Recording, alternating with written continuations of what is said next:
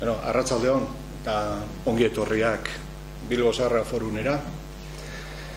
E, azte guztia daramagu e, itzulpen gintzakin eta bueno, guk e, jardunaldi hauek antolatu esan nuen atzo eta arañon jardunaldi hauek antolatu ditugula e, itzulpenaren garrantzia azpimarratzeko eta gainea mm, garrantzi hori aldarrikatzeko baita ere ba, e, uste dugulako ez dagoela behar esain baloratua. Eta horren adierazgarri ba, e, urtero egiten dugun e, irakurketa etengabea, arreagan egiten dugun klasikoen irakurketa etengabea, aurten e, etengabean irakurriko dugula Kafkaren metamorfosia. E, literaturako edozein e, liburutan e, hogei garren mendean e, agertzen diren hiru gailurrak ba, dira Kafka, Proust eta Joyce, nolabait e, vanguardia osatu zutenak eta vanguardismoa vanguardiai e, forma eman ziotenak. Orduan, vanguardia esan nahi du zeat, aurreratuak o e, tradizioa, tradizioa apurtu edo behintzat urratu zutenak eta bide berriak e, zabaldu zituztenak. E, guk mm, Kafka aukeratu dugunez irakurketarako ba, pentsatu dugu e, egokia dala ba, vanguardia horretako beste bi ikide nagusiak, Proust eta Joyce baita ere e, hemen agertzea eta zorionez ba, itzuliak daudenez ba, gonbidatu ditugu e, gaur hemen e, bere azalpena ematera. E, uste dut e, euskal kulturan eta euskal literaturan e, mogitu izan garenok ba, denbora askuan egon ginela zain ea e, bi klasiko hauei nork no, nork ekingo zion eh? bai joizeren ulisesi eta prusten denbora galduaren bilari. Eta azkenean ba, bueno, agertu dira eroi hoiek. Eta gaur egun pues, badauzkagu e, euskeraz. Beraz e, modu batera e, Joyce eta Prusti buruz hitz egitea, Kafkari buruz hitz egitea da, eta gu zeharka bada ere e, hori e, nahi izan dugu. E, besteik ez, e, pare bat ohar bakarrik e, bukatu baino lehen, badakizue e, itzaldi hauek biltzen ditugula guk liburuzka batean, eta urtetik urtera ba, liburu hori publikatzen dugu. Orduan, baten batek iaskoa espadauka, hor daude ale batzuk eta har bezala eta eraman bezala. Eta beste alde batetik e, foruna, Bilbo Zarra forunaren informazioa jasau nahi izan ezkero, oso hor dago beste kutsa bat, ba, elbidia lagatzeko.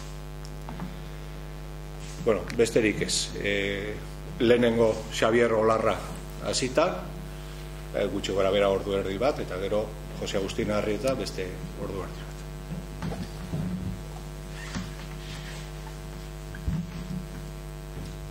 potuit, dekuit, ergo fetxit. Hori esaten ziguten, ama birginaren birgintasuna, jainkoak zergatik bada mantendu zuen adierazteko. Alegia. Ahal zuen, komen izen, eta egin egin zuen. Gaur nolabait latin zale xamar etorri naiz, eta hasiko naiz pixka bat gaurko itzaldirako Pedro eman zigun puntuari nola baita erantzuten. Puntua Jose Agustin Arrietak bidali zion eta nola baita korrala esan zuen. Zertarako, zertarako hartu dugu geude gain olarrak eta biok Joyce edo Proist bezalako dinosauro batzuk euskaratzeko lan alimalekoa. Ezertarako balio aldu, gure hizkuntzaren prestigiorako, horretarako bakarrik, inork irakurri alditu gure lanak. Zen batzuk, nik ez nuen galderari, planteamentuari, aldo hortatik heltzeko inolako asmorik, baina nolabait ere hain etxigarria izan ez da erantzuna, Miranderen poema batekin erantzuko diet. Eta ala zioen. Zargatik. Zargatik ikasi ahanztekoz gero ikasiak oro. Zargatik ikasi hainbertze lurralde, ikusi hainbertze lurralde, hainbat, hainbat jende. Ez zar ezin eutxi. Zargatik lastan zargatik iguindu. Bihar edo etzi, ni non naiz izango. Eta bar, eta bar, eta. Honi erantzu, erantzutea egiaz eta e, inolako hauan bizarrik gabe erantzutezkero erantzuna etxigarri izango zen. Baina nik, e, aspaldidanik gauza bat ikasi dut. Eta da, xake jokoan, hasieran ondo hasi ezkero eta e, piezak ondo jarri ezkero, gero piezak laguntzen diotela jokalariari.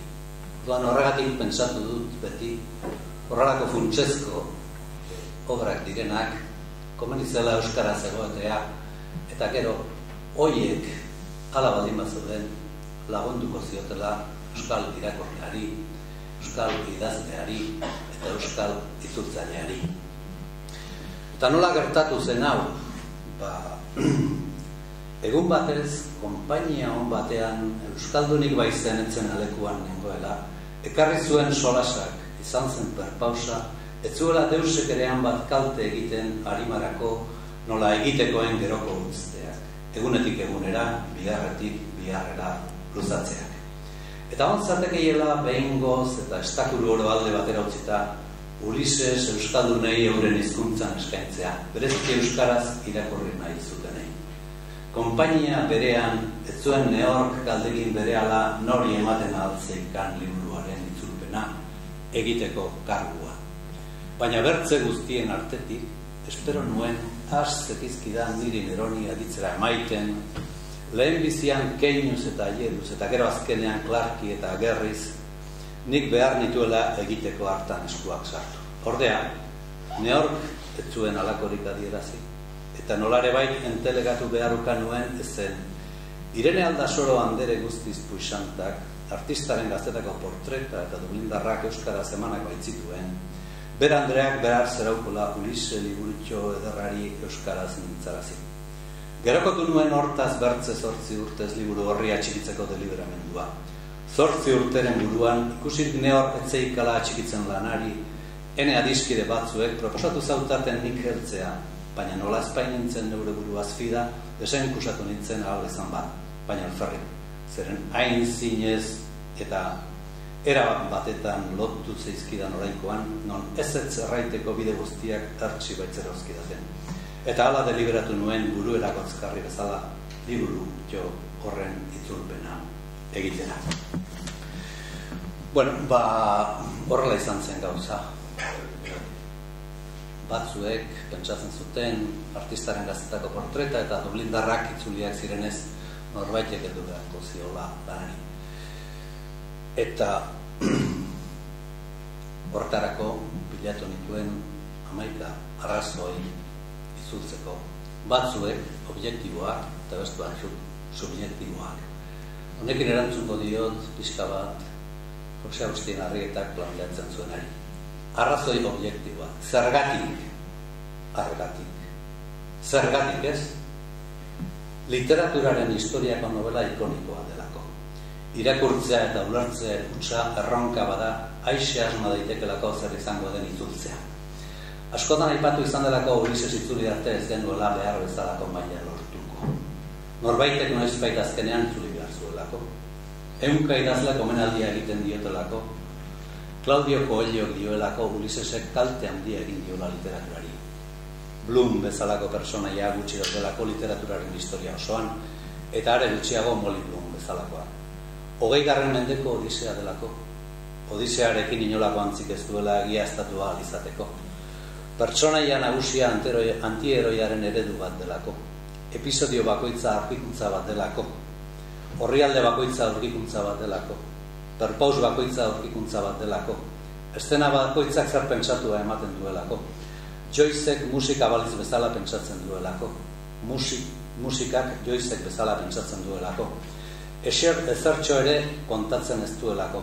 Hiru personaiaren bizitzako egun bat kontatzen duelako dena kontatzen duelako. Bizitza zer den kontatzen duelako. Eriotza nola ikusten dugun kontatzen duelako. Alaia delako, deprimentea delako. Parodia paregabea delako. Asmakizunez betea dagoelako. Seguru aski inork asmakizun horien erantzuna asmatzen ez duelako. Milaka erantzun zuzen daudelako. Zutabe literario bat delako. Ilezkorra delako. Ume batek ere uler dezakeelako. Jakintzuenak ere sekula ulertuko ez duelako paradoxaz betea dagoelako. Askorentzat Ulises irakurtzea oksimorona delako.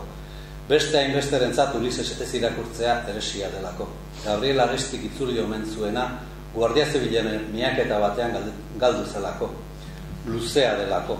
Horrela, urrena lan horri ekiten dionak lan hobea paretsukoa edo kaskarragoa egin al izango duelako. Bukatutakoan suspentsio novela ez denez berriz irakur daitekelako. Milaka irakurketa dituelako. Erabilera eskuliburuak dituelako. Eskuliburu horiek baliagarriak izanik ere aski ez direlako. Ezein itzulpenek ez duela lortukoaren esentzia ematerik frogatzeko. Metamorfosiarekin gozatu ederra hartu genuenako. Denbora galduaren bila irakurrita, denbora nola galdu ikasten jarraitu nahi genuelako. Euskarara lehenengo, lehenago itzulia otezen garbi ez zegoelako. Itzulpen guztiak hobegarriak direnez, 2022an oinarrizko testu bat edukia izateko. Hogei garren mendearen hasieran sortu zuen uin gravitazionala Euskararen herrira handik mendebetera iritsi delako. Eta objektiboetan azkenekoa, ad maioren baskonikae linguae gloria. Arrazoi subjektiboak, ez nahi zorren beste luzatuko eta amaika bakarrik emango ditut. Itzultzea gustatzen zaigulako eta bidenabar itzultzaileari lehen pertsona maiestatikoa erabiltzeko zilegitasuna ematen didalako. Masokisten nombreak ergelenak bezala mugarik ez duelako. Juan Benetek Joyce idazle kostumbrista zela esan zuenean burua naize desente zerabilela egia estatua izateko. Irakurri ondoren, ilezkorxeagoak izango garela dioskulako ziantziaren arbolatik zurgeak. Mehatxuak bete egin behar direlako, prestigioa erabat galdu nahi ez bada, eta Twitterrek elefanteek baino oroimen behar duelako. Batzuetan, igela argitaletxean, bezurra badiru ere, olako liburuei heltzea erabakitzen dugulako, arrazoi komertzialekatik funtsean, paradoxa badiru ere. Berez, behar delako izan bilabona ondokoa. On resurrekzion mariak eta on plasidok ez bezala, goizean goiz zaiki eta mezaman beharrik ere ez dugulako lanari ekin aurretik bederatzi. Ulisesen itzulpenean urte mordoska bat eman ondoren Ulises itzuli behar gabe egun bakoitza asko luzatzen delako, edo bestela esan da, lehoiaren iesi ingudea bizkarrean daramanaren teoria hemen ere betetzen dela erakusteko. Denok ezin garelako bilbokoak izan, eta bilbo ondoko fineran zuek itzuli beharrean Ulisesekin konformatu beharra daukagulako. Eta azkenik, azmaioren mei gloria. Ulisesen itzulpena normalizazioaren adierazgarri. Orain dela hogei eta bos bat urte. Jose Azurmendik planteatu zuen artikulu batean, jakin dago, e, onelako kontu bat. Ulises, kreazioa ala normalizazioa, edo zei eta James argian dago. Eta honela zioen, Ulises nik ez dakit mende honetako are literatura moderno guztiko obra nagusitzat hartu behar ote dugun ala ez. Dioten bezala, hizkuntza obra, harrigarria, komplexoa, aberatsa dela, badakigu. Eta itzulita dago, esate baterako, katalanera. Bueno, itzulita hizkuntza askotara dago, eta euskarara. Posible hotelitzateke Ulisesen itzulpen bat gaur euskarara.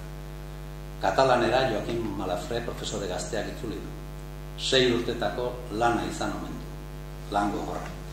Uliseseko izkera ugarietan hogeita marmila inguru hitz desberdin dago, eta zailtasun asko duela beste arrazoi batzuen gatik ere ezaguna da. Katalanek ikaragarrezko garaita bezala ospatu zuten iaz haren itzulpena.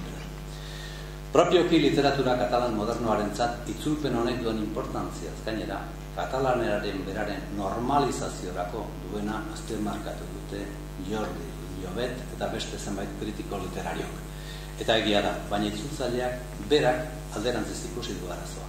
Alegia, normalizazioak egin duela posible itzulmena. Eta ontaz bai pista bat itzegin nahi nuke. Alegia, e, ni ziur nago, mila behatzireun eta laro eta bian ere itzul zitekeela Ulises Euskara.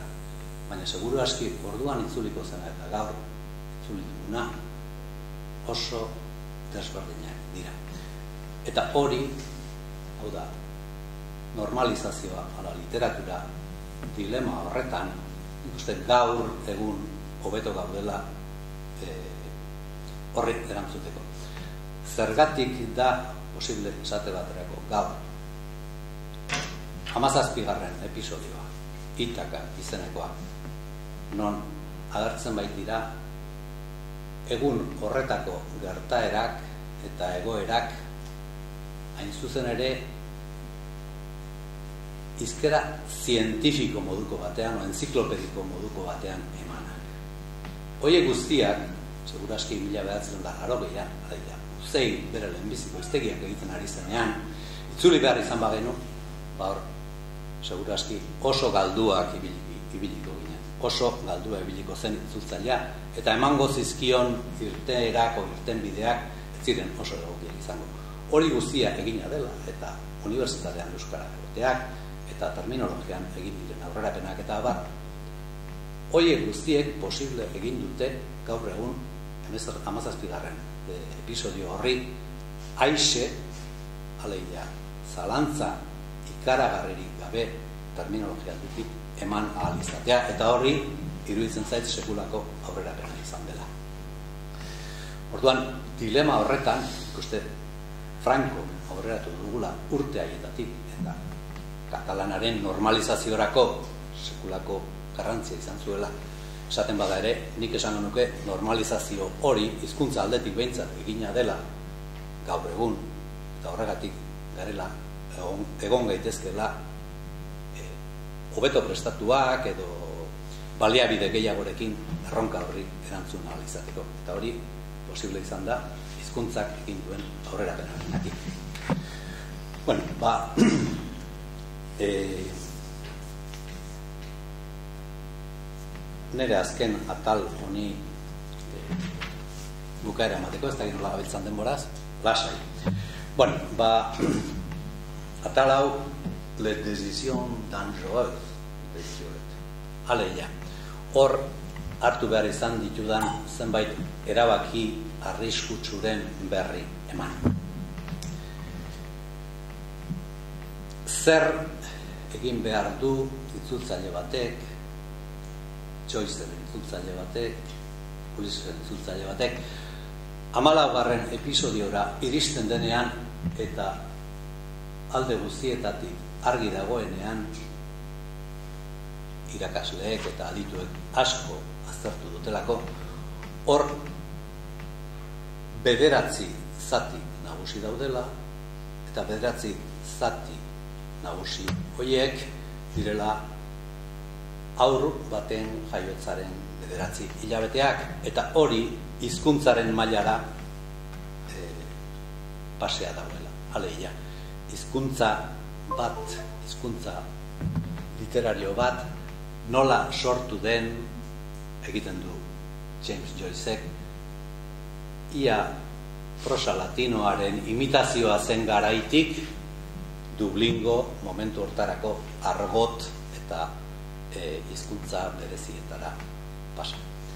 Ba, orduan e, hori modu askotara dago egitea eta nik eredu bat aurkitu nuen gaztelaniazko e, itzulpenean, García Tortosarenean Eta hor berak egiten du, ba, zer esango nukenik, ba, Gonzalo de Berceotik hasiko bagina espainolez eta e, Quevedotik pasata emeretzi garren mendeko hizkuntzetara eta eta hogei garren mendeko argotetara pasazuen.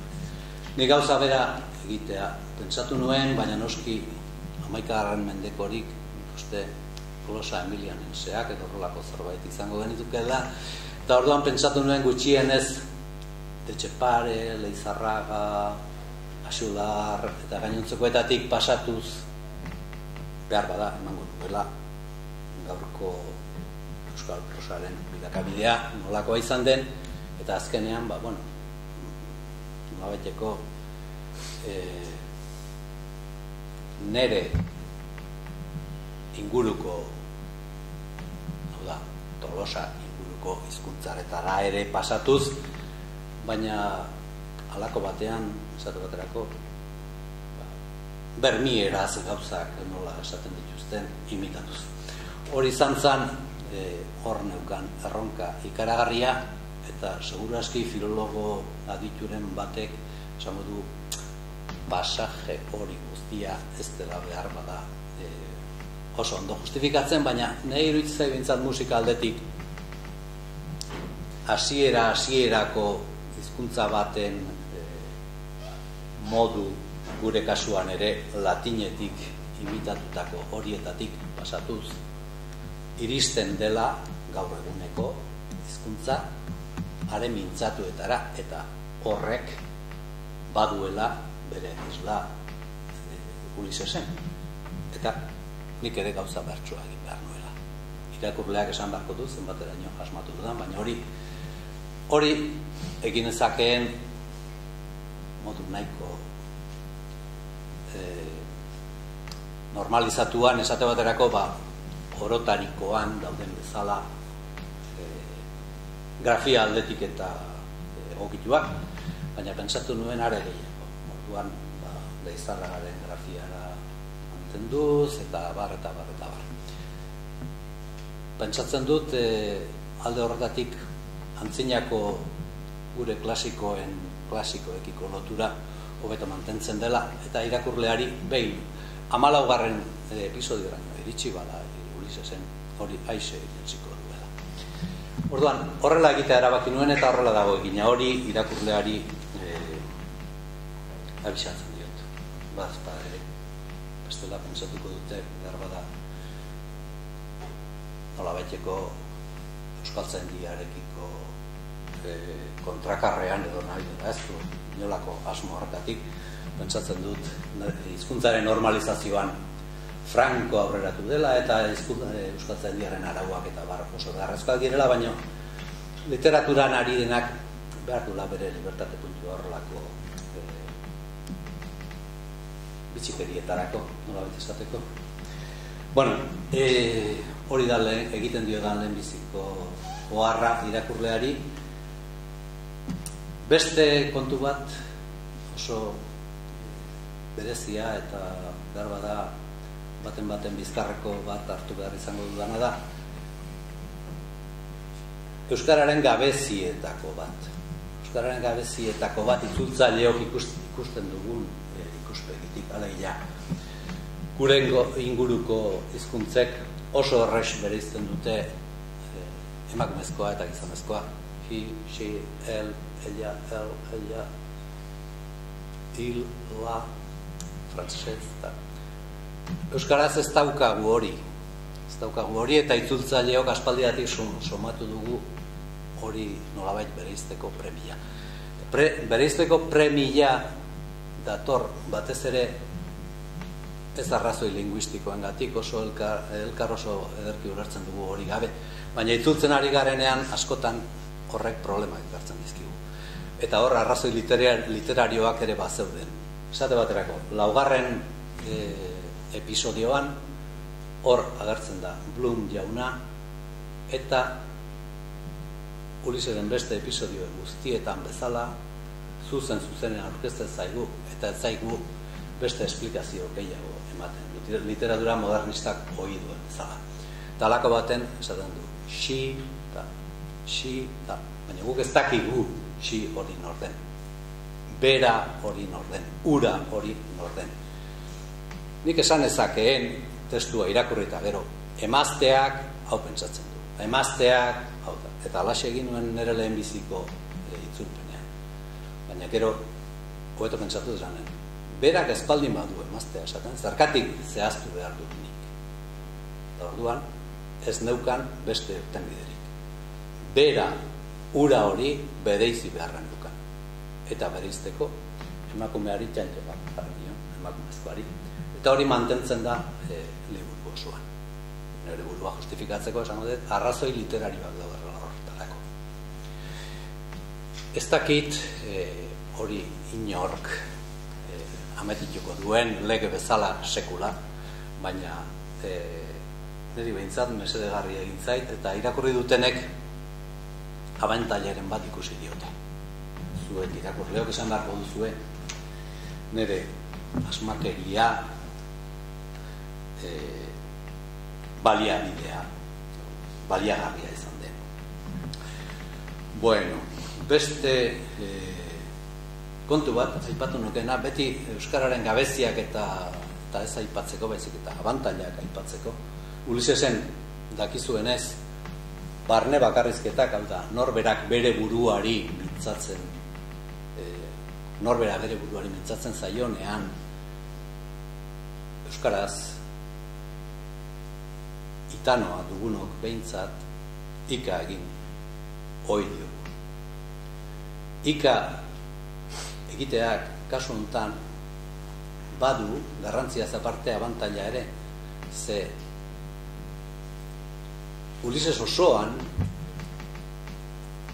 narrazioa eta norberak bere buruarekin egiten duen bakarrizketa hori nahastuak daude. Elkarren segidan daude eta irakurleak asmatu behar du hor azpian zer dagoen. Narrazioa ala norberak bere buruari esandakoa. Orduan, euskaraz hori guzia ika jartzean euskal irakurleak badaki hau narrazioa da hau bakarrizketa da.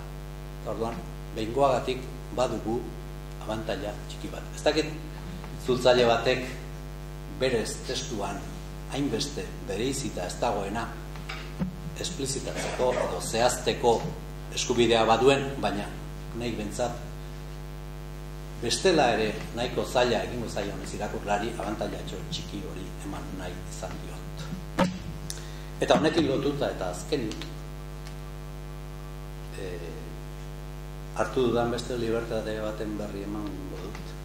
Eta da, bukaerako Molly Blumen monologo ospetsu horretan, emakumezkoak bere buruari ika egiten dio. Naiz eta tota mitxeduna zenak esan da badakigun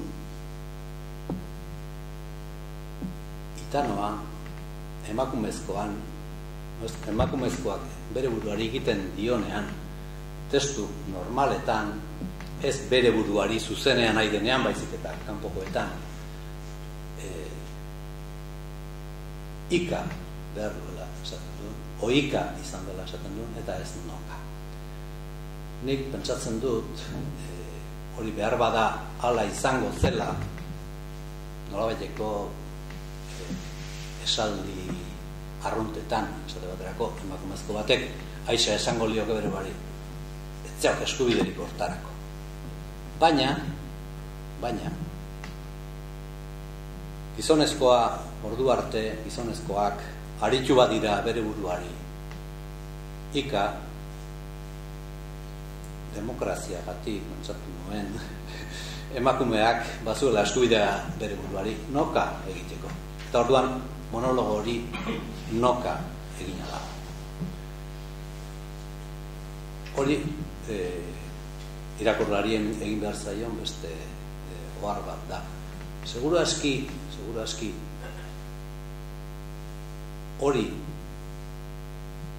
testu neutroa bezala, ez norberak bere buruari esana, baizik eta testu neutro bezala, itzuli izan banu, behar badarraztasun gehixiago izango zituzten pentsatzen dut ja behin amazazpi garren episodio iritsi denak emezortzi heltzen dionean egon beharko dula horretarako eta gehiagorako prestatua. Beraz, hala egina da eta irakurleen iritzien zai nago. Irakurleen adituen eta gainontzeko guztien e, iritziaren zai nago. Espero dut, e, alako batean, norbaiten iritzia izatea. Besterik ez.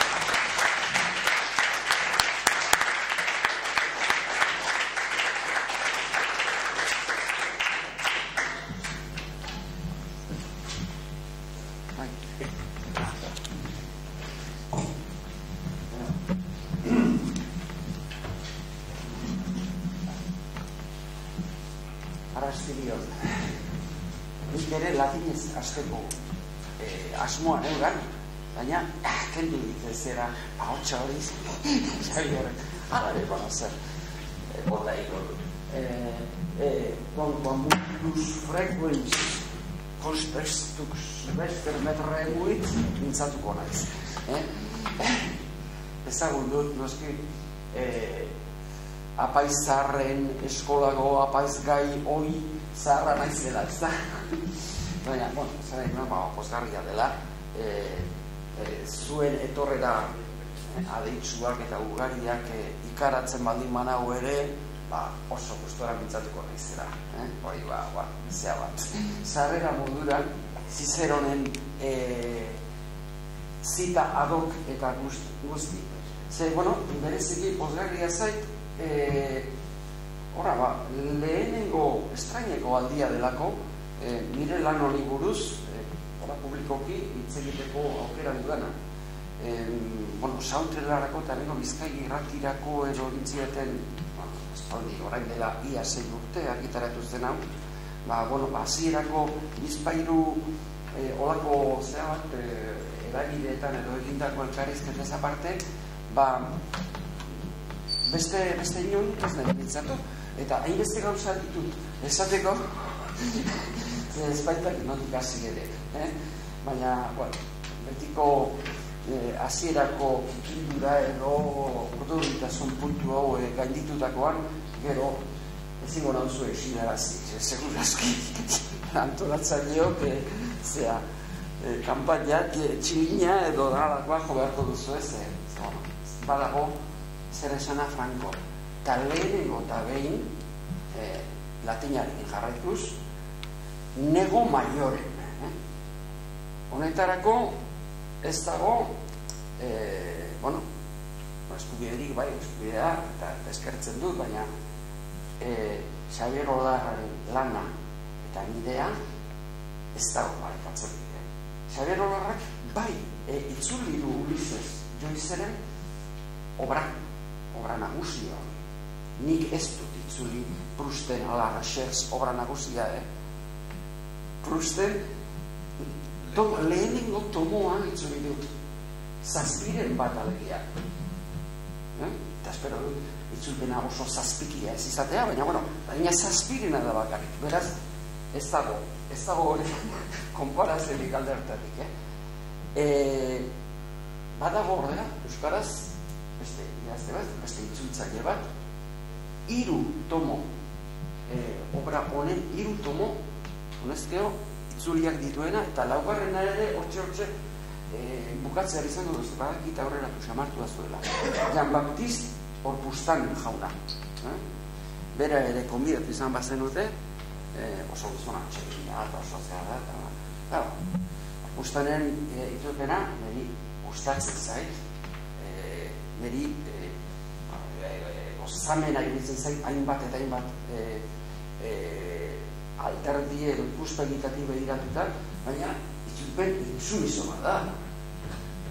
Eta Euskaltzailearen lokalean, ba, ba, ba itzulpen, oza, Euskara batuaretiko intsumiso, e, itzulpen baten e, inguruan, ba, laudorioak e, ezatea, ba, bueno, behar bada, e, blasfemo samarra izan daiteke, baina ez, ez dut maila honetako lanetan, ustan jaunak eta edo nor nahi duen barruak agintzen dio bezala xe eh, nahi duen bezala edo barruak agintzen dio bezala xe idazteko eskubidea du. Basena bartarrez, babai, bena farrera zegina dago osorik bere lana. Baita, e, bueno, morfosintaktikoki eta, eta sintaktikoki ere bai, lexikoki ere bai, eta baita ortografia mailan ere. Ba, ez gaite zen, euskaltzari ere lokalean egon, nori esan, ez gaite zen, ba, aita santua baino santuago izan. Hemen, e, ba, bueno, bagoitzak alduena e, egin dezala. Eta, eta bueno, ba, gero, itzuliko naiz puntu honetara, eta adibide pare bat ere jarriko dut e, bukarean. E, bueno, hori izan da gero, e, Xavier mintzatzen ari zen bitartean, eta, bueno, ba, bere arrazoi subjetibo eta, bueno, objetiboak eta subjetiboak eta ipatakoan, ba, goratu nahi, bueno, egun hauetan, behin baina baina goratu nahi, bueno, ba, berak, e, bere beste lan baten aurkezpenean, donostian, donostiako koldo mitxelenean, mitxelenak izan zuen e, e, txisteaz, bueno, txistea edo komentario humoretsuaz eta, eta, bueno, grabatuta galditu zitzaidan, bat izuen, ere, ba, handik urtetara eta gelditzen zaizkigu ba, olako anedota buruan ez da e, egun kenoren e, estilo ariketak liburua itzuli zuen Xavierrek hm? eta bueno, liburu oso komentagarria disfrutatzekoa da eh? bueno. e, eta gauza bat esan zuen zergatik idatzi zuen hori eta ba, bueno, ba, keno ez ez ba, keno, bai, bai, ningo diat bueno, horrelako horrelako zerbait badugu denok, ez? Bai, bai, bai, nik eta bai, nik uste dut euskal guztiok, badugu ez dakik gure ADN-ean edo alako erronka zaletasun edo desafio zaletasun zera hori eta eta ba, sartzen gara batzuetan ezin atera gaitezken e, itxaskondar gabeetan beste asiularrek ere esaten zuen bezala baina, bueno, ni ere ados nago saiarak izan dituen gauza gehienekin e, ba hori, ba, ba, ba, espero dezagun onuragarria eta eta zera e, eragingarria eh? egongo dela edo gure lan hauek eta e, eragingo dutela edo eragin izango dutela behar bada e, alako, alako, no, esaten da feedback edo dalako hori eh? euskal kulturaren mm, bueno, per, eh, berredikatze zea bat. E,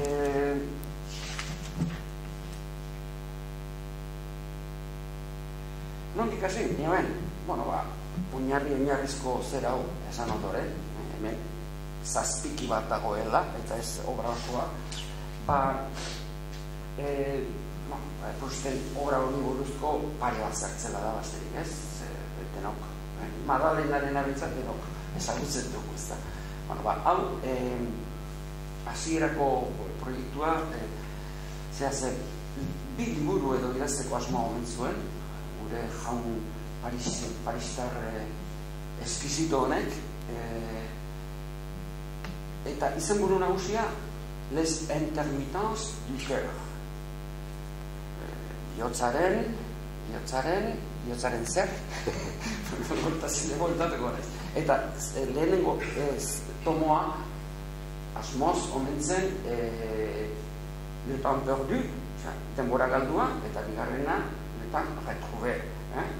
denbora ber, berraukitua edo ber, eskuratua e, eskerrak azkenean ez zion izen buru hori jarri zer bihotzari zer intermitentziak intermitentziak jartzen bat duzu batzuen mm, muturra ez duko zuketen e, eta beste zerbait jartzen baldin baduzu ba, zer iztegiak dakarrena aldizko aldizkako tasunak hori motor diesel bat entzat behar bada bai baina baina bihotzaren zat eta bihotza ere motorra izan. E, bueno eskerrak alegia ez dakogun problema hori eh? zer bestela e, bueno ba, hori edo bestela e, auto, autopistetan e, jartzen diguten mezu politori eh, da, baliagarri izan keke erabili beti keinukariak nola izaten duten erabili beti keinukariak oso oso mezu zera da e, are, are e, erotikoa ere izan daiteke eta pentsatzen dut. Baina, ba, broma, broma, galdera nagusia. Eh? Behin baino gehiagotan, e, zehatu bideoan, eta nolabait e, galdera, o, bidali nizuen galdera hortan, eta Xabier dagoeneko ja, sobera erantzun duen hortan, e, galdera hori da ez da. E, lusu fribolo bat alda guk egiten duguna. E, prestaturik algaude euskal izkuntz komunitatea e, gure ekosistema linguistiko kulturalak jasanan dezake horrelako shock tratamendurik e, edo urdaiak bestera batera esan da urdaiak digeritu aldezake edo liseri aldezake edo digeri aldezake horrelako eh, jaki potenterik edo bueno nik uste dut baietz eh? nik uste dut baietz eta eh, Xabierrak esan dituen arrazoek ez ditut eh, erradikatuko, ados nago eh, nik uste dut baietz eta gainera jabe gaitezen eh, horrelako obrek eta eh, zer nolako eragina duten kultura guztietan eta informazio izan orduan Prusten obra nagusi hori buruz, eh? bueno, esan dizuetan bezala, eh, zazpi, bueno, azierako bi horiek, bi, bere asmoetako bi guroiek, ba, e, oro genesi batean bezala zen, ba, ba, ba, ba, plaka tektonikoak lertu eta zelan zazpi gure batean zitzaizkio. Eh? Zazpi. Ba, zein da zazpi liburu obra osoaren e, zaztu liburu hoien itzulpenen egoera gaur egun nazio artean. E, bueno, ba, mm, ni daukaban informazioaren arabera, oso informazio zera iragarria da, ze orain dela mm, urte bete, urte bete eskaz edo, e,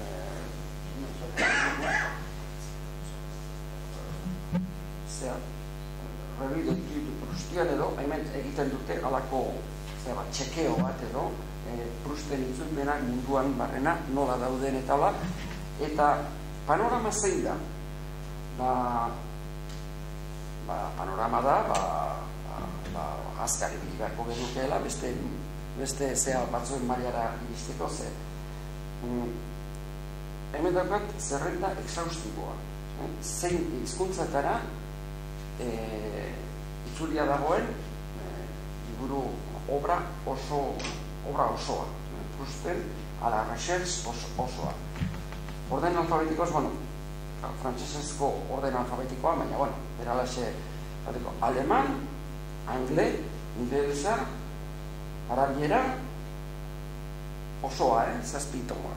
Bulgariera, txinera, koreera, kroaziera, daniera, espainiera, eh, finlandesa edo suomiera, grekera, italiera, japoniera, neerlandera, norvegiera, persa, persera edo,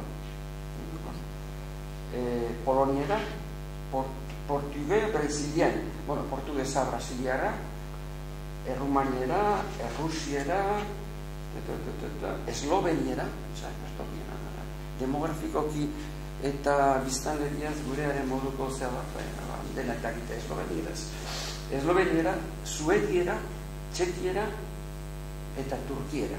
Oiek, itzulpen integrala. Eta gero, bigarren peloto jan, edo goaztenok, eh, nola edo ala, ba, zerbait bintzat itzulia dugunu, ba, armeniera,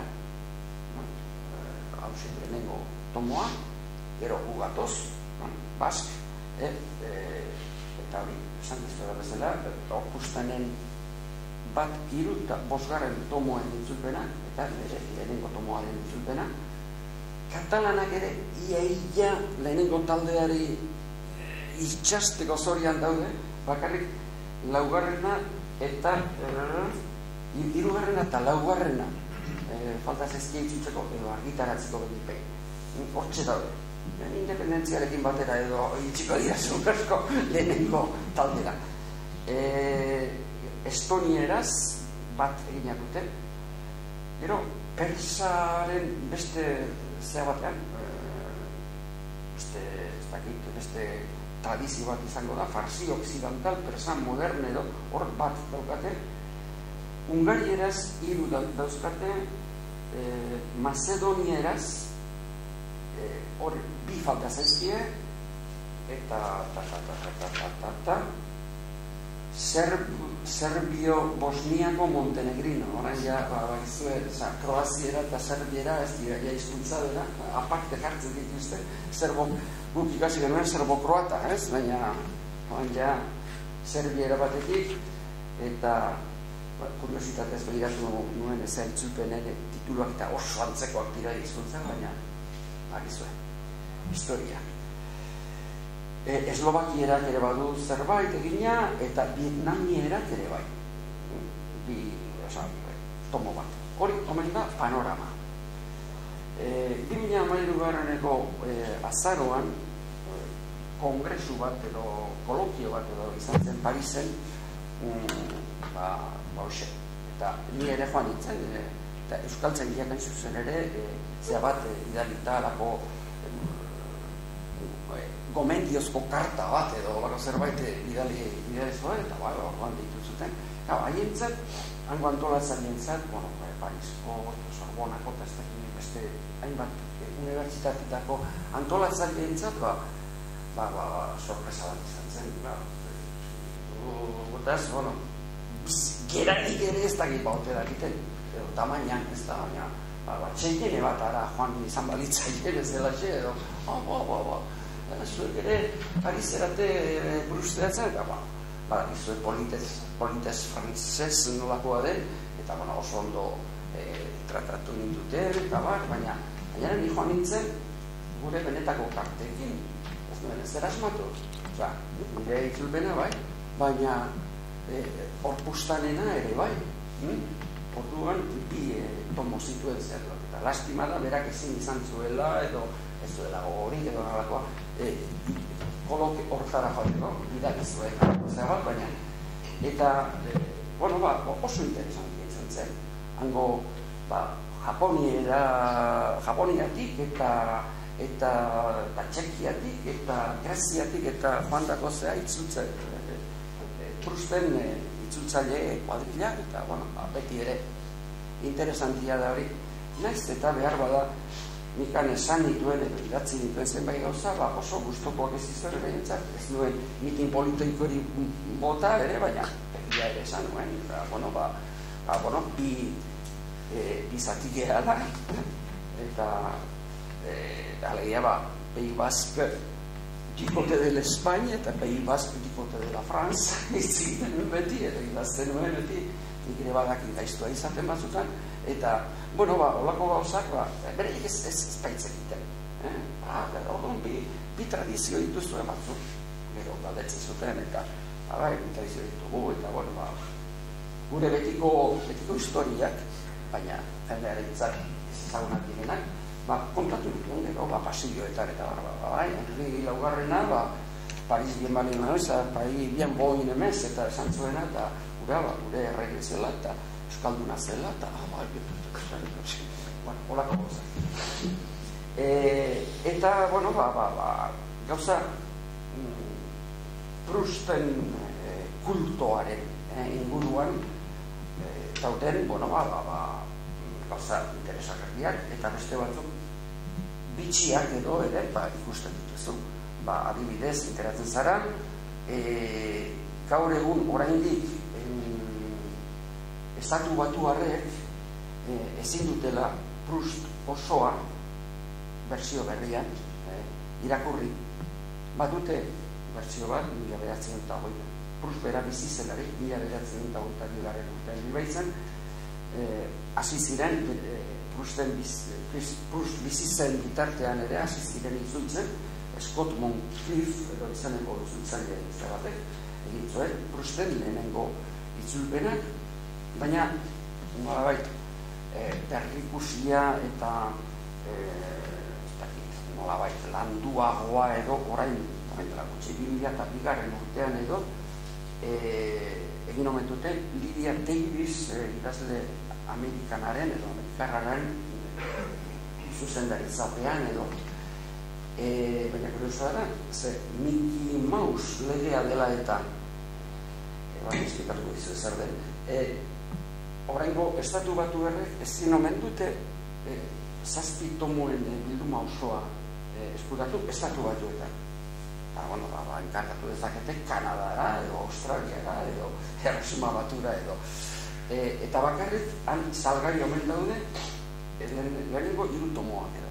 Zergatik, ba, bueno, ba e, Walt Disneyren ba, Walt Disneyera kriogenizat kriogenizatuta dago ikuste dut, horrein ikan segituko du baina bere, on, bere oinordekoek e, impori gara denak eta ba, lege bat e, martxan eh, edo indarrean jarri arazizutelako e, egi eskubideek mundu osoan gainerako munduko bazter guztietan edo herrialde guztietan iraki dela ez bezala e, egi eskubide horien indaraldia irurogeita ama urtekoa da men Europan eta bar, beraz balako ba, ez, estatu batuetan larrogeita ama bostekoa eta beraz mila behatzerun eta hogeian edo lako zerbait bukatuko omen da eh, ba, epe hori eta orduan jarriko omen dituzte salgai.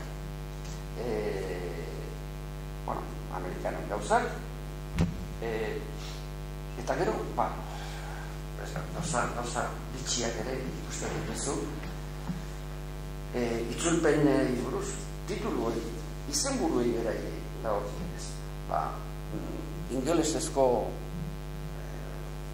gaurko ze kanonikoa edo gomen den lehenengo zea e, itzulpen integral gartan Scott Montiefena liburu hori deitu omen zion bakatu nire hauskera eh? Oxfordianoa baina bueno Remembrance of Things Past. A la recherche du temps perdu Remembrance of Things Past. Parola jarri zuten. Osa, ba, e, nunbait, nunbait, e, Shakespearean soneto baten zatitxoa, omen da, edo, hemen balego Juan Garziak emango izkibuke xietasun guztiak, baina, bueno, e, eta orduan, ba, hori jat, eh? eta, uste dut, artean, pros bizizenari, ba, samurtu zela, samurtu baina iparaldeko zentzuan, eh? aserretuz dela galanki, eh? ze horrekin baina, Shakespeare oso ongi zegoela, baina, baina, baina berak beste zerbait jarri zuela, ez da? Bueno, ba, horrelako lizentziak edo, ematen dizkiote e, bere buruari. Munduko jaun eta jabe diren ezkeroz, eta beste behar da munduko andere eta jabe, fila itzintone irabazte madu madu, ba, bueno, ba, eh, ba, remembrance of things past, hm? eta ah, txinerazkoa ere oso politia da. E, ala research ditu berdi, e, e, ba, gora kalduaren bila, nun bai, bueno, ba, ez dakit, txineraz irakurtzen beren piktogramak edo beren ideogramak, baina nun bai, transkripzioa omen da, zuriki, zixui, nian hua, olako zerbait. Eta horrek esan nahi omen du, e, a ver, joan dako edo joan diren uraren gisa joan diren urteen berratxikipena eh, bolako zerbait hori ere beren tradizio literariotik hartutako formula bat edo omen da edo beraien poema bateko ze hori eh? E, uraren gisa jariatu diren urteen eh, berroloitzapena edo berezkurapena holako zerbait bueno, txin, txinoa bere asko asko direnez, ba ezin esango dugu ezer, ez da? Hainbeste milioi izan da.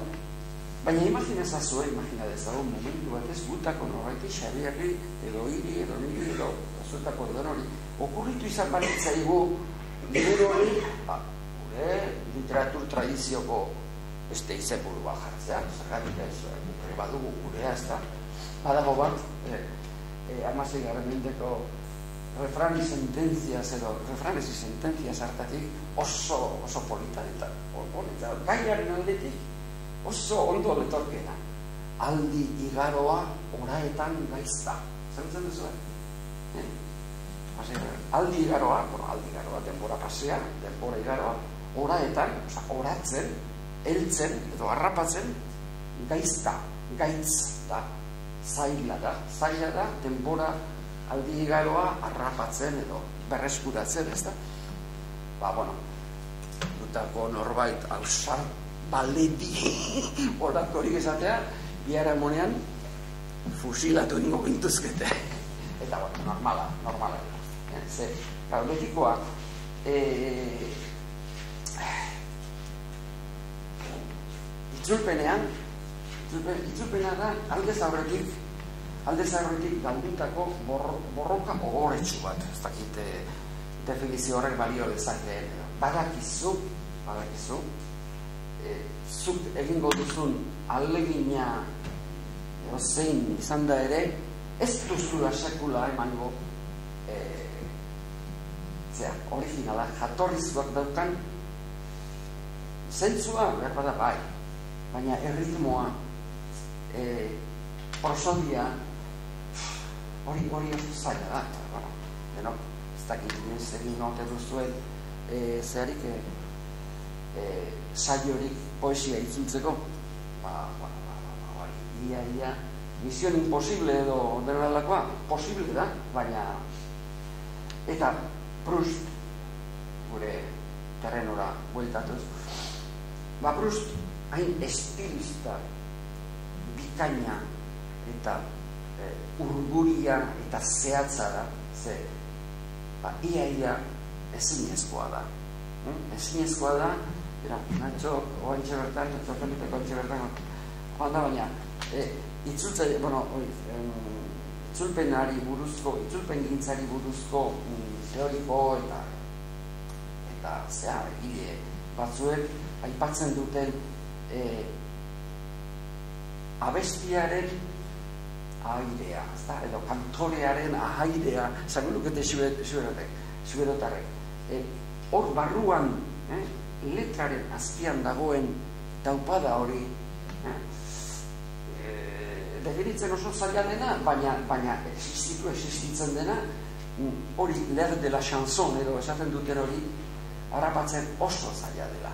Eta horren txek, adibide bat edo jarriko dugu.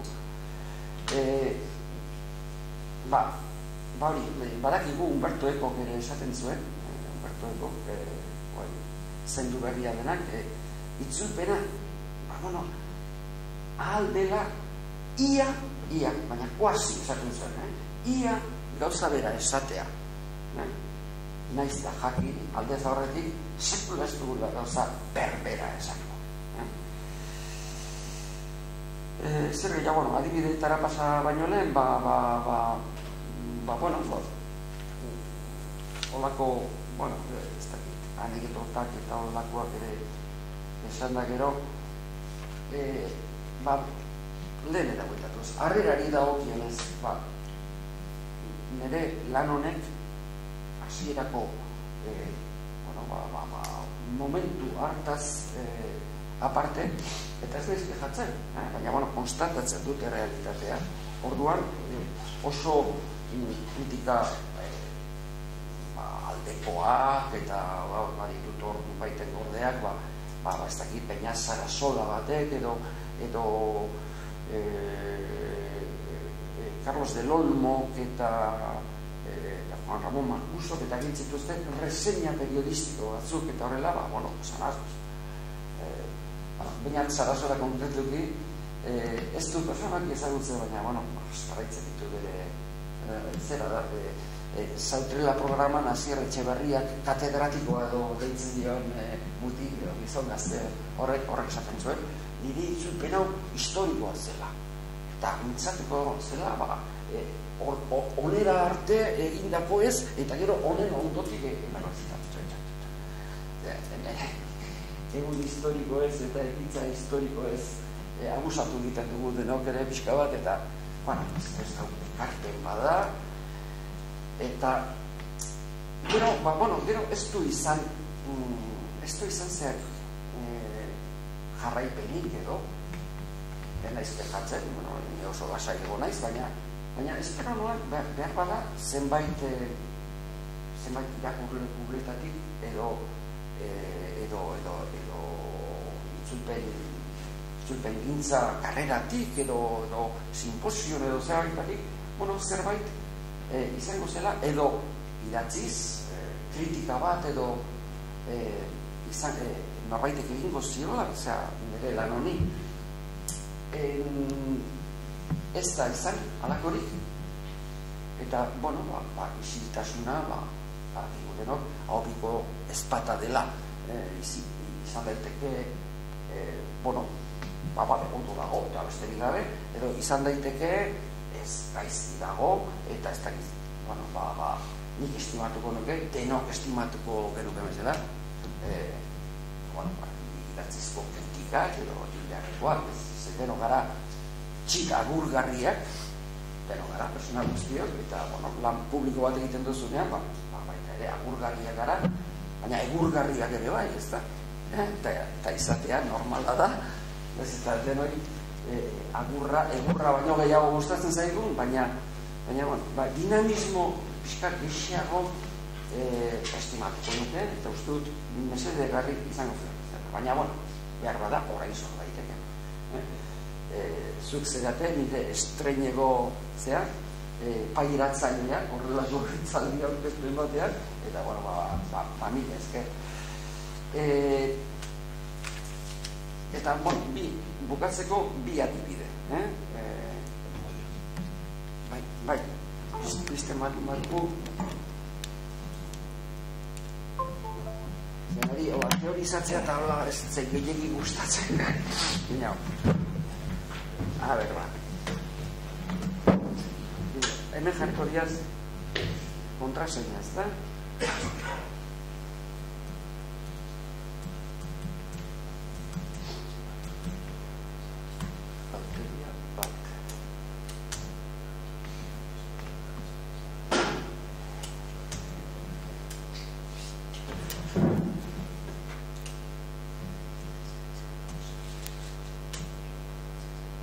marka baina hemen ez du kontraseina ez ditu onartzen edo zeharra joan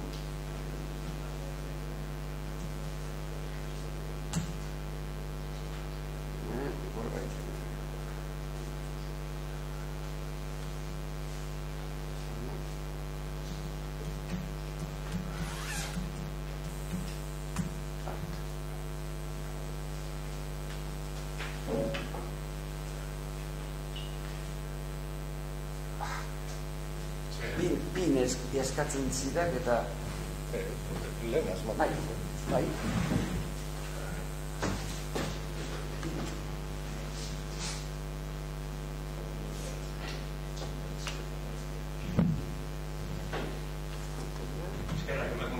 Bai, bai, bai, oize. Ah, orai, bai, bai, esker. Esker.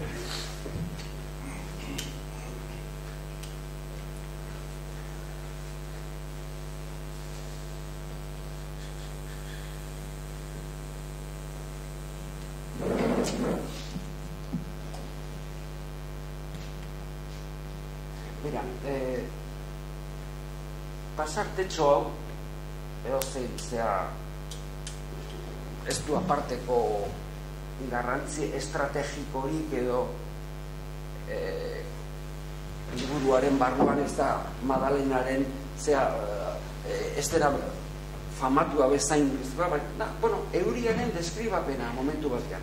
Baina, bueno, bizpairu tokitan edo ikusi dut hause e, aipatzen dutela e, zea Mm, Prusten prosaren musikalitatearen adibide bezala edo eh, hor funtzio mimetikoa edo nola eh, zeratzen duen nola fonikoki ere, fonetikoki ere nola eh, mimetizatzen duen nola bai euriaren hasiera eta garapena. Osa, lehen da bizi kolpe, kolpe bat tak, eh, eh, euri, euri tanta lodi xamar bat, gero nola hori edatzen den e, zea bat bezala, e, onda ale batzuk bezala eta gero hori nola regulatzen eta ba, arrati arrek esango lukete bezala euriak darago jenean ba, bueno, nola mardultzen den euri hori ez da eta bueno ba, e,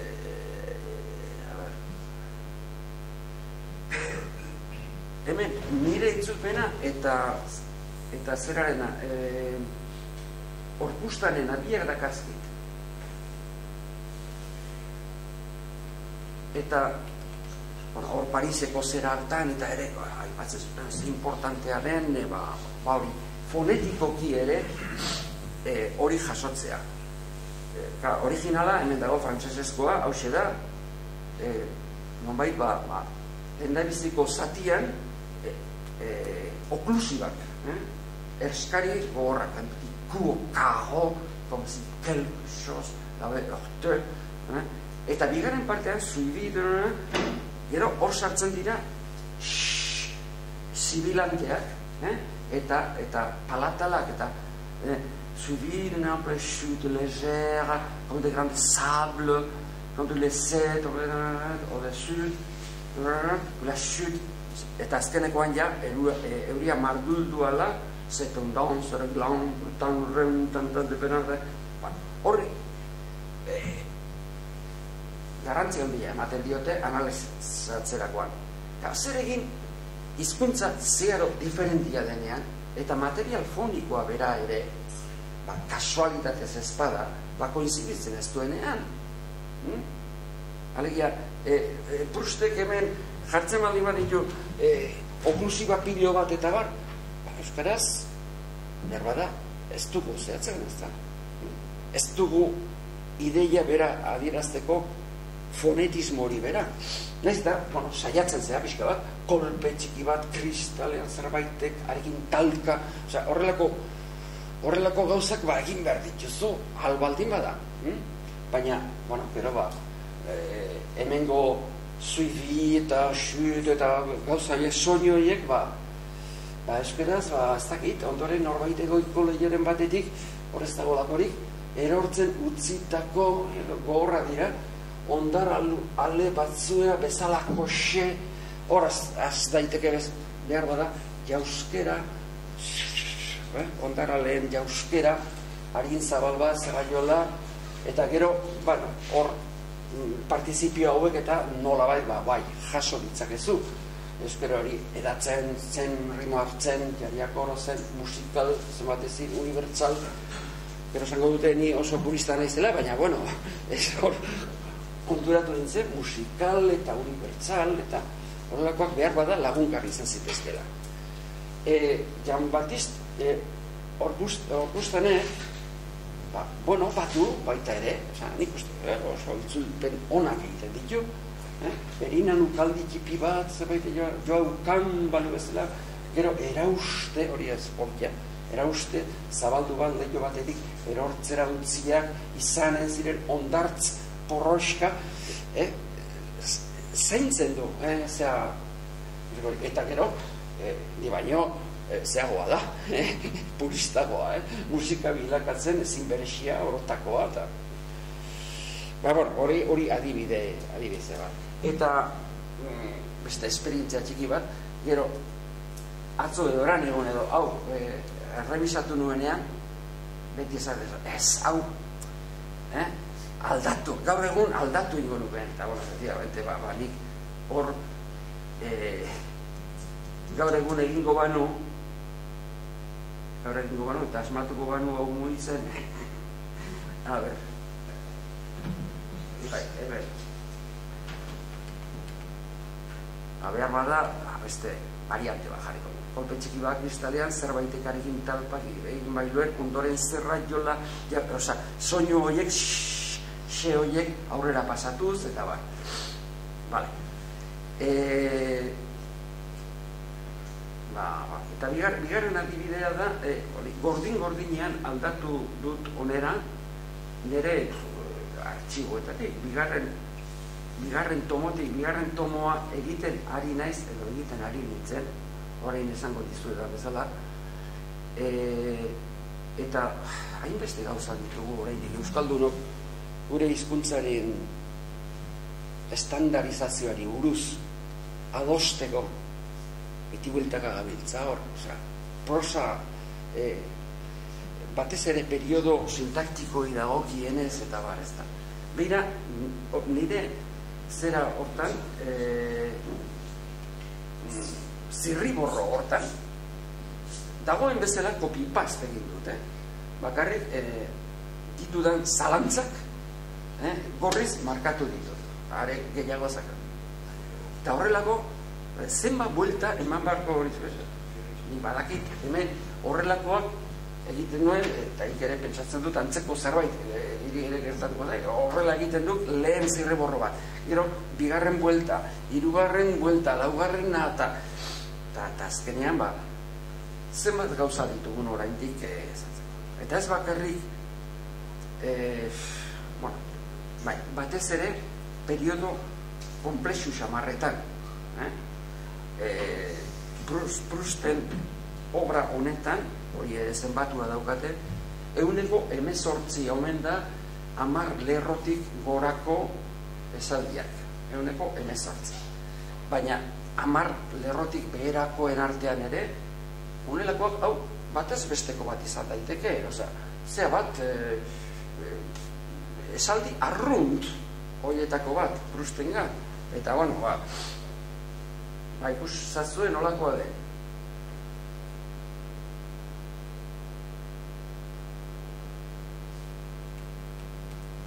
Eh,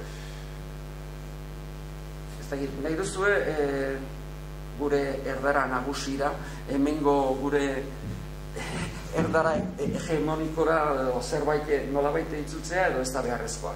Eh, frantsesez ulertzen duzu eh? Eh? Bai, Bueno, bai, e, e, euskarazko itzulpena edo pre-itzulpena hemen dago, baina, bueno, e, izan exacta realidad ascendant. Eh, parece que algunas realidades trascendentes eh, emiten alrededor de ellas unos rayos a los cuales la full, bueno, eh, la gente, eh, la gente es sensible. Bueno, badiru dicen baita realitate trascendant. Ikon jarri dut, garantzi goreneko, baina, nago batera seguru, trascendentek, oiez bezalako, oitik araindikok, beren inguru marirantz jaulkitzen dituztela alako izpi batzuk. Karo, zeintzuei alasaiei jendetza sentibera baita. Bueno, hau da bueno, gure zer bat, betiko betiko ez dakit bak turlo izarrak egin behar dugun edo aheztu golarra edo ze kristo egin behar dugun baina, baina ados jarri behar garela hori behintzat garbi dago nik eh, itzulpen honetan eta beste batzutan irizpidetzat erlatiboari dago zinaz. Eh? Erlatiboari beti erabili izan dut, edo erabiltzen saiatu naiz honako irizpide hau. E, erlatibo determinatiboak direnean gure pre, zera, ezta? Ba, erosi dudan etxea hm?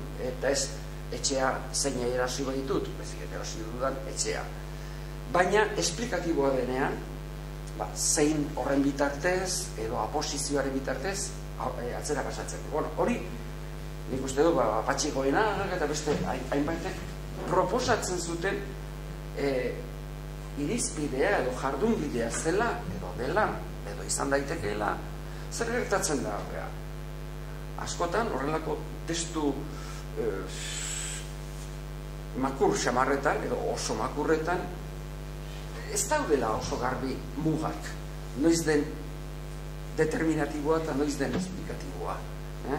bai, asularren arako eh, adibide ura edo uste patxiko eta karrena ez da piramideak zein baitira eh, Egiptoko errege faraonek eh, faraonen jobiak bai, or, esplikazioa da eh? eta determinatiboa izango litzateke e, e, Egiptoko faraonek egin zituzten piramideak eta maiek Ameriketan egin zituztenak eh, hori determinatiboa da, ez da esplikatiboa bueno, Muga hori batzutan garbi ikusten da, baina beste batzutan? Hemen adibidez eh, una serie de rayos a los cuales la gente es sensible. Aurretik jarri behar aldugu edo atzetik. Aurretik jartzen behar dugu izugarrizko problema da. Jaurkitzen dituztela jendetza haienganako edo haietarekiko e, sentibera den izpi batzuk. Ulertzen da ba ez dakit. Eta horrela bueno, e, e, ez zaituzte gehiago zehatu nahi eh? baina e, horrelako adibide asko daude eta ba, ados jarri beharko dira, ez bestela gertatu nahi, lehen gogunean oain dela pare bat hilabete edo konversazio edo elkarrizketa pribatu izan, de, izan zenez ba ez dizuet esako nori izan zen ja, oso persona egokia, oso langile fina, euskal kulturan oso lan handiak eta oso onak egindagoak azkenean esan nian, eta gaina zuka, esango, kontatuko dizuet, jakin ez ez zuen gizona, emanko mea zen, eh? zuka. E, gaude du, aizu baina, azkenean ulertzaldan ere itzulpena. Eta esan zen, ez. ba, hori, zuek, zuek esan behar zuek, nik, bueno, ba, ba, ba, ba, ba, ba hori. Honak bestela, eta beste asko bestela, e, lana bintzat, egin nuen, eh? eta ba, eta bertsolariek bezala azkeneko puntua hauxe da. E, lan egin nuen, baina oraina jubilatu naiz, eh? erretiratu naiz eta pasiatzera joango naiz dikote de dikote de, di aizeren horrazian, donostia bizi naiz, edo dikote di, de, de la zurriola edo paseo berria. Baina horrelako horrelako lanak benetan akigarriak dira poza ere ematen dute eh? E, eginda gero baina, baina, bueno, eso hemen, ba, ba ez dakit bi, ordu, bi, bi urteko lana dago bat ez beste egunero hiru bat ordu edo sartu eta, bueno, ja, ba, haizo erretirua merezi dugu, espero dut. Mila esker.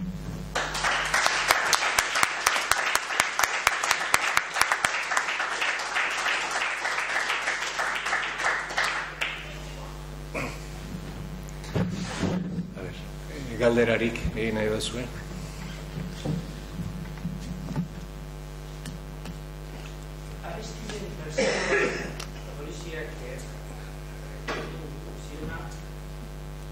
Osori zegoen, liburu bukatua zeukan, ala zatika, lerdia baino ez, ala erena edo balaki hori.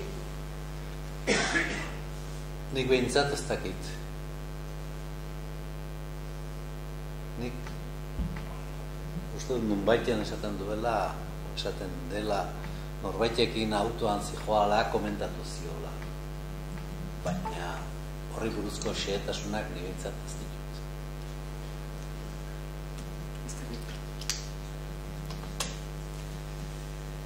Bere, zer, itzulpen benetakoa den edo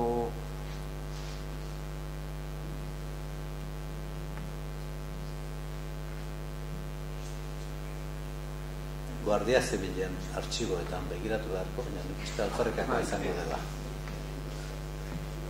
Dena dela.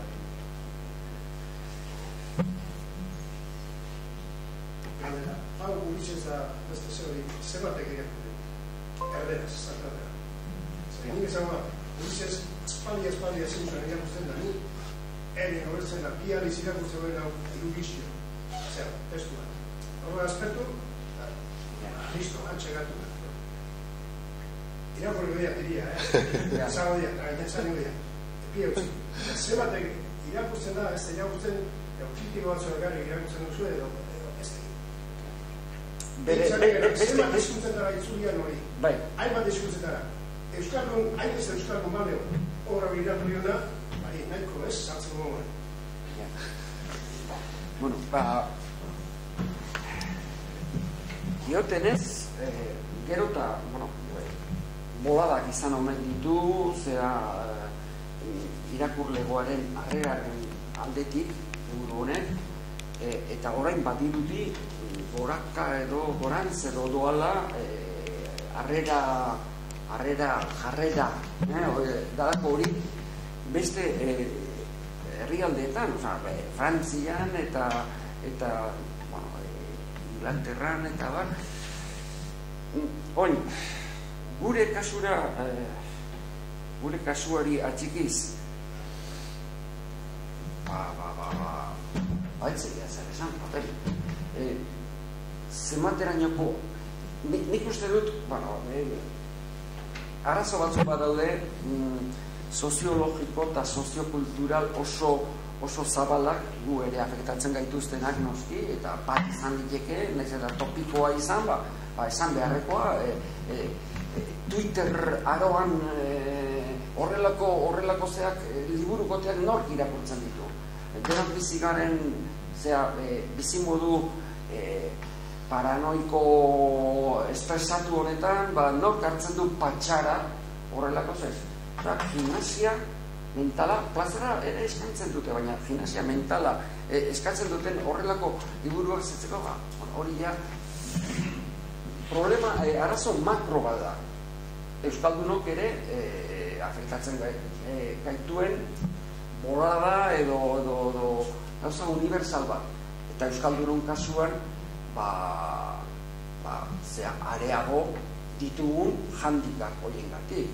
Eh? Alegia, konturatu ez da, esan dudan edo e,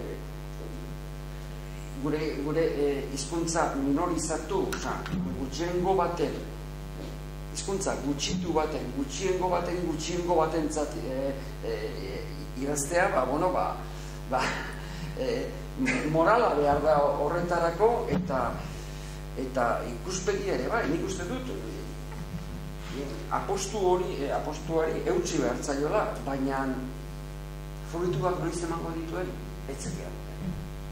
Etzekia.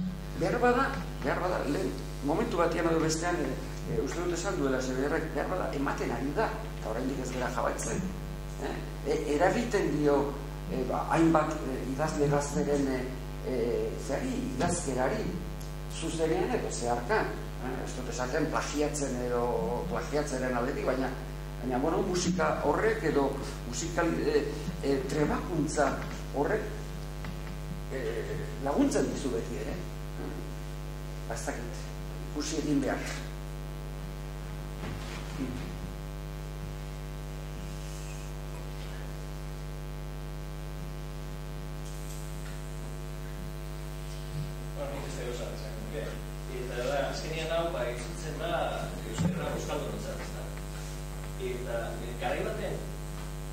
bai, nik uste dut horretara egon dut, ez da, e, egiten zian zerbait frogatzeko, ez da. Euskera gai da, horretarako, ez da. Nik uste dut badagoela datu bat, eta da, gaur egun hori ja ez da ala egiten. Nik impresio dut bat, ja, ja ez dago frogatu, ja. Nik eta iteke da. Uste dut hori hori mitzat aurrera dugula, ba, egin daiteke. Gero izan daiteke hobeagoa da txarra. Horretaz,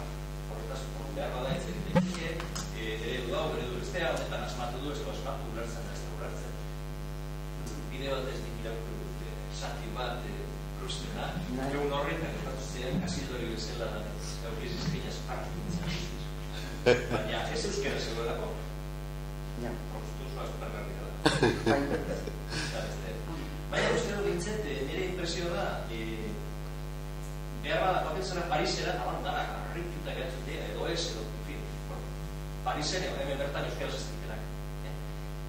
Baina Euskaldun ontzat, Euskaldun mundu batean bizi garen ontzat, bitzen ikusten marra hori pasatu dut. Horain ja, izan daiteke itzulpen nobeagoa edo txarragoa. Baina hori esatea bargo, ah, Ulises e, Euskaratzea, ez dut uste hola planteatzen denik kontu bat, keten egin Gehiago da, itzulpen, zelako gogua, gero, beste bat irakurtzeko da hori. Beste mota bat ero ez da behar. Eta nik uste hori datu positiboa da. Oain, zenbatek irakurriko duen eh, Proust edo Joyce, euskeraz edo gaztelaniaz, bastakit. Eh, gaztelaniaz ere nire inguruan ez dut ezagutzen, eta asko, fin, neko fundu literario. Baina, eh, ez dut pentsatzen, eh, euskeraz ez dakitenak hemen, edo salamankan, eh, oro bar, gehiago irakurtzen dutenik hemen Proust, hemen Euskaldunak euskeraz baino. Ez. Impresio daukat. Behar bada Danimarkan eta Suedian eta hori bai. Baina gure inguru ez. horri eh, erantzutekotan nik erantzun nioke, ba, bueno, ba, apologia bat eginez, eh, literatura unaren eta e, zen ere ustez e, placer iturri ere bada, e, zera, Proust nire kasu, kasu honetan, eh? bai, bat bada, eh? E, baina ez dut, ez dut e, hortan gehiagizatu ez, baina ez dakit, e, idazle, idazle puntilista bat da. E, nola analizatzen duen e, zera e, e, giza edo, edo pertsonaren e, psikologia eta nola asma, e, nola mm, berreskuratzen duen denbora galdua. Ora, Haurtzaroaren zehari, batez ere, lehenengo tomo honetan, gero giro parisino horiek eta behar bada guri, guri oso arrotz egiten zaizkigu eta e, eta gainera transposizio mental bat egin behar dugu imaginatuz hango dukez eta eta bankero eta jende hori ba, euskaraz imaginatzea ere kosta egiten da eh? baina e, batez ere hemengo konbren partea eta bela, bere, bere haurtzaroa eta e, berreskuratzen duen eta zoragarria da eh? zoragarria ez dut zentzu biletan behar bada zoratu egiten zaite egin zaitezke irakurtzera gara baina gozatu ere bai eh, ez da eta gero ba giro parisino hori or, deskribatzen duenean ere kon, jabetzen zeranean jabetzen zeranean e, ari den nola ari den burlatzen kritikatzen baina modurik ironikoenean eta hango sasi jakintzu guztiek. Hango zea, nola jartzen dituen, literalki eh, aparir. Eh? Zena, nola, eh, orduan, hartzen diozu ze bat, eta bueno, disfrutatu ere egiten diozu. Oi, gauza batzuk, konforme, eh, ez dira, ez dira, ez dira urratzen, espaldi baduztu, oarren, oarren laguntzari. Bai, novela irakurtzeaz gain, oarra bai, bai, bai, bai, hori hori izan problema da. Hori bai da, universitatean egin desatela nahi badut. Bai, hori, hori bai da, hor, hor, hor bai arrazoia osori ematen dizu da, ohar, oharrak, e, zera, horri berekoak, horri berean, mm, oin, oinoarrak direnean edo, tira, posibilitate bat, aukeraren bat edo beste bat dute, irakurle batzuek betzat, irakurtzeko. Baina, atzean, jartzen badia bai edo ik beste erremediorik e, ez duk izan, oski, baina atzera pasabiak izan ditu, ze errespetu guztiekin eta eta trebentzia osoarekin, eh? Hau, a ber, hemen hasiko gera elkarrekin zea, eman edo, hau errezagoa da hori baino, eh? Ikustek, bai? Bai, bai, ikuste bai, etxe. Hori? E, e, por, esaldi, esaldi motak eta hemen luzeagoak eta klasikoagoak edo decimononikoagoak dira nahi balde bat duzu. Eh? Baina badute, badute ari bat, eta honek, ba, bueno, gauza batzuk zoragarria ditu noski, baina baina zoragarria beste zentzu ere bai. Irlandesa izan behar da, hori garren mendearen hasierakoa eta e, bueno, e, horri jarraitzeko, eta ezinbestekoak dira, oharrak, gau, bestela. Tokatzen zaitu. Bueno, bai. bai. Neri ez zait e, iruditzen nik jendeari aukera eman diot, aleia, atzean jarri ditut oharrak despistatu ez jezen. Eta orduan horregatik nahi duenak, besterik gabe, atzera bat ere begiratu gabe, gu gazte denboran irakurtzen genuen bezala, egin dezakezu, hasi lehenbiziko horri aldetik, eta alboan badago zenbakitxo bat, esaten duena alako lekutan, baduzu honi buruzko eh, azalpen bat, hori gabe irakurren nahi baldin baduzu, zure kontu. Ez da, nolako problemari, behar bada, etzara jabetuko, behar adina, anatzean badaude argibide batzuk, zergatik dagoen esaldi hori, esaten dutenak, edo. Gaur egun esate baterako, guretzat oso ezaguna da, laugarren esaldia introiboa da dutare dei. Eta noski, meza e, latinez entzun eta lagundu genuenok, ba badakigu hori zer den. Baina orain hogeita mar urteko gazte bati galdetu nion zeir hizkuntza ote zen hori. Eta italiera? Orduan, noski, eh, introiba daltare dei zer den ez dakienak eta laugarren esaldian hori irakurtzen duenak, seguru aski, bazterra utziko du. Eta ez da konturatuko inola ere han episodio guztian mezaren parodia bat egiten ari dela horratera den pertsonaia. Eta zergatik ari den denbora guztian horrekin parodian. Orduan, horrelako esplikazioak uste beharrezkoak izan litezke lazen baiten, zat, horregatik daude, tarria. Baina hori bezala, ba, beste milaka eta milaka kontu argitu daitezkeenak. Horregatik jarrita daude, baina irakurlari trabarik ez egiteko eta despistatu ez da din, atzera botata daude, eta nahi duenak, zuzenean irakur dezala. Halako batean galtzen denean beti du aukera bukaerara joan, eta dagoen antolatua begiratu, behar bada lagungarri izango zaio. Nik gehiago ezin dut egin. Nahikoa egin dut. Eta zergatik esaten du errezagoa dela hori baino.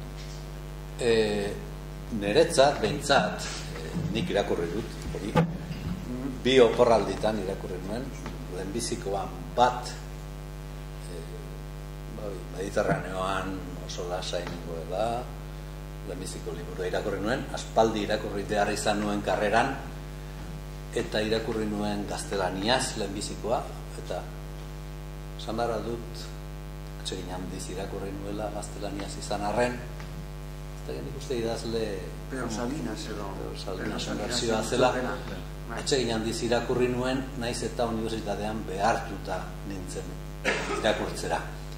Baina, aurretik behartua izan nintzen El Quijote irakurtzera ere, nahiko atseginaz irakurri nuen, Gabriel García Márquez, oso gustora irakurri nuen, eta bigarren urtean, e, frantsesezko literaturan, ba hori irakurri garna. Esan barra dut baita ere, oso azkar irakurri nuela, gau haietan, oitura genuelako zenbait estudiantek, zentramina hartzekoa, eta orduan izugarri konzentratzen ginen.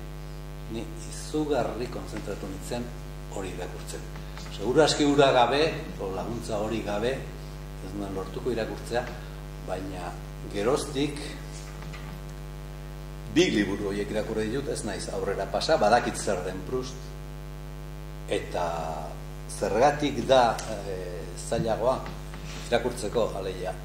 Hemen Joycen, e, Ulisesen, ez dago, bueno, erresagoa da irakurtzeko. Aleia, hor dauden esaldi korapilatxu hoietakorik ez dago apenas hemen. Oda, zuk irakurtzen duzu, irakurtzen dituzu, lehenbiziko hiru kapituluak, eta hor ez dago esaldiaren egituraren aldetik ez dago inolako komplikaziorik hori erres irakurri diteke erres irakurri behar da bestela itzupenak utz egin duen seinale da horiek erres irakurri behar da beste kontu bada interesatzen zaizun hor kontatzen dena kontatzen den modua edo abar edo abar, abar. baina egituraren aldetik ez dago inolako arazorik hor arazo askoz gehiago daude iztegi aldetik gauza bera Eta hemen esaten da hogeita mar mila hitz erabiltzen dituela esaten zuen mito bat da. Hogeita mar mila forma desberdin daude. Baina aditzoiek orain aldian, lehen aldian, eta zean kontatuak daude. Orduan, aditz bakoitza hiru motatan baldin badago ere. Aditz bakarra da. Orduan ez dira egongo hogeita mar mila hitz mito horrek esaten duen bezala. Baina hor nik aurkitu ditudan zenbait hitz iztegitik nola bala tiraka ekarritako horik apenas dagoen hemen. Hizkuntza askoz eh, erresagoa da alde hortatik zailtasuna beste estilo batekoak dira. Ez dira iztegiaren aldekoak. ez iztegiaren eta ez esaldi keraren aldekoak ez dago ez dago horrelako arazorik eta horrek nik uste horrelako liburuetan atzera eginarazten duela ezin delako erabat jarraitu. Eta ne, beste, beste arrazoi batzuen gatik ezin da jarraitu.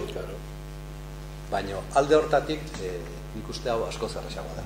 Esate baterako zuk hartzen duzu hemen Molly Blumen monologo, monologo hori Eta hori, badirudi, sekulako naste borrastea dela. Eta nahi ez dakit nore, molikulumen molo asko kostako zitzaiken, eh? Ba, berez, eta hori, ean frogatu zen, eta beste bat tokitan frogatuta dago, da, hori, zuzenean den bezala itzulita dago, eta jendeak ulertu egiten du. Ulertu egiten du. Zergatik, azken finean delako, emakume baten gogo eta bere gaztaroan izan dako amodi dituzkoa, eta hori guztia puntuaziorik gabe dago. Baina puntuazioa jarri ezkeo munduko gauzarik erresena da ulertzen. Horregatik, jartzen baldin baduzu e, jendaurrean eta mintzatuan emana ulertu egiten da. Ez du inolako problemarik. Beraz, froga hori pasa baldin bada, nik esan dezaket alde hortatik erresa dela. Alde hortatik. Eta liburuan beste mila zailtasun daude eta ez daukago horik zailtasun hori guztiak pasatzeko. Gaur egun plazerez joize o Ulises irakurtzen duenik nor da. Behar bada izango gara batzuk irakurtzen dugunak ea hor zer dagoen jakiteko edo bukaeran hortik zer atera dezakegun jakiteko. Baina bestela pena ez da jenderik. Baina ez, e, Euskaraz, Gaztelaniaz ere. Baina ez joiz irakurtzeko, bezik da beste hainbat gauza arrexago irakurtzeko ere. Orduan, ba, esan du, zergatik eh, dinosauro batzuk aritu gara hontan ba.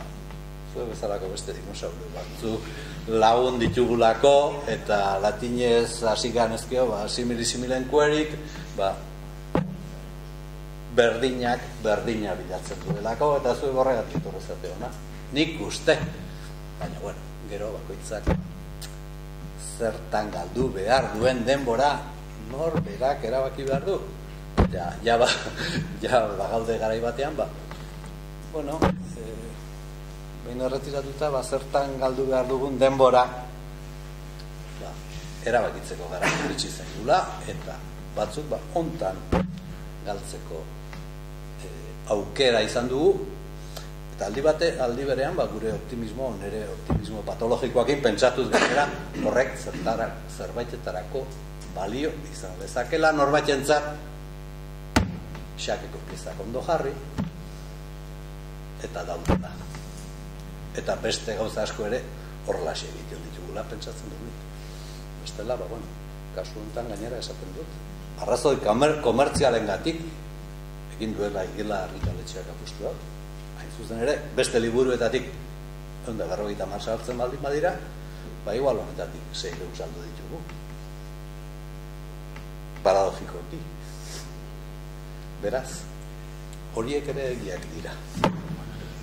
Nik zer, zerbait erantzare, bestela, zera, partiduaren galtzaile edo, zera, neu, neu, antola dezago, e, zera bat, e, irakuraldi bat, eta e, nik edo, bueno, beste, ahotso nego, zera, batek irakurritzara hemen gauzen bai pasarte, eta ez dira, e, e, otsoa ez da hain beturgarria, eh? ez, ez badira, noske, lehen aipatu dizu edara uste dut, eguneko emezortzi edo, ba, ba hori, e, periodo bat, e, e, esaldi nagusiaz gain, zazpi kompleti bat, sortzi konzesi bat, ez dakizan bat, pintatzen direnekoak.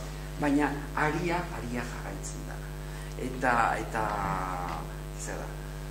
Eta ez bukatzeko anekdota batekin, zer, oharrak eta e, aipatu ditugun ezkero. Gogora etorri zait, e, anekdota polita emitzen zait. E, momentu batian badago estena bat, ez zera, e, protagonistak eta launesko printzesa edo, ba, barrez, txutxungutxuka ari dira, festa horietako batean, eta beste norbait e, kanbremerreko e, dukesa edo, ikusten, eta eta ari maskala jaten edo esaten dan bezala, oza, ari buruz, e, burlaka. Eta esaten dio, batak besteari, ez dakit nor nori, hasieran eta, ba, emakume horren abizena ere, edo, e, e, ze, ze, ba, ez dakit, ze, baldarra den edo, eta, eta ba, ez dira usartu hitza osatzen, eta beste erantzuten ez, ez hasierakoa eta ez bukaerakoa eta ja, ja, ja, ja, farrez. Azten dira, hori irukartzen duzu, beste inolako informaziorik gabe, adibidez Pedro Salinasen eh, espainolezko itzulpen horrek, nik ezagutzen dudan zeratan hori dauka txarra, ez, ez dizu inolako informaziorik ematen, eta horrean ba, galtzen duzu, zergatik, ari dira, hau farrez, eh, galditzen zera, ba, kuadrilla norbaitek txiste bat esan, eta ulertzen ez duzunean, jartzen zaizu, de tonto horbegia egin ez da. Ez duzu ulertzen, eta ja, hor e, nota edo baldin bat ator, frantzesezko edizioan, adibidez, ez, ez, e, e, nik pentsat ez nuen ikusi inolako esplikaziorik. Baina, alemanezkoan, alemanak, bueno, ba, oso, oso itzulpen ona, eh, eta horrelako eh, esplikazio guztiak ematen zituzten, eta enteratzen zera, ah, claro, Cambremer, hitz hori dela Cambronne plus merde. eta horren historia da Cambron, bai, Napoleonen eh, general bat zen, eta Waterlooko zearen eh, eh, batailaren bukaeran, errenditzeko jagindu ziotenean, hartu omen zuen sablea, lurrera batu, bota eta merde esan zuen. Eta hori hainbat amarka datan eta hogei, e, za, Parisko giro xik guztietan, hau, mehagat esaterik etzegoen, baina, zer, le mode kampun, kanbronen hitza. eta, e, ordan, kanbremer horretan, ba, kanbron, apokope ez dela, kanbre, bakarrik esatute, eta mer, eta esatera. Ba, ez dira usartzen ez hasiera eta ez bukaeran esatera, para egiten dut. Ordan, horrelako, horrelako zeak, oharren bitartez enteratzen zera eta disfrutatzen duzu. Oin, ba, ba, ba, ba, ba, ba, yes. ba, irakurtzeko, ni baina, eh, Xabierren lana irakurtzen ari naiz, ez du bukatu gara eta horrela egin naiz. Eta hemen, horri alde, horri alde, ez da izaila ere,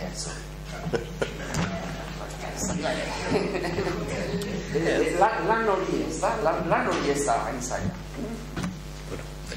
Mila esker gure gonbidatuei eman diguten hitzaldiagatik eta eskerrik asko zuei ere.